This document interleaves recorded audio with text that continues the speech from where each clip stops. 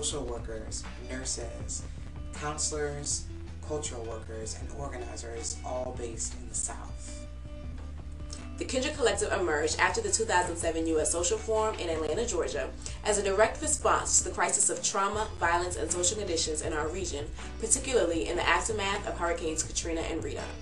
In 2010, we led a national team of grassroots healers and health practitioners to create the first National People's Movement Assembly on healing and health justice held at the U.S. Social Forum in partnership with practitioners and organizers on the ground in Detroit. It was there that we asked the question, how do we create more mechanisms of community-based response to sustain our emotional, physical, spiritual, psychic, and environmental well-being of all of our communities?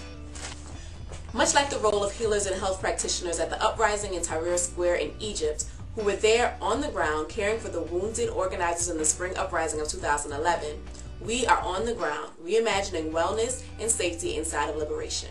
In the past year alone, Kindred has organized community-based comfort aid and wellness stations at the Immigrant Rights Mobilization in Atlanta against HB 87 in partnership with immigrant and refugee rights organizers in the South.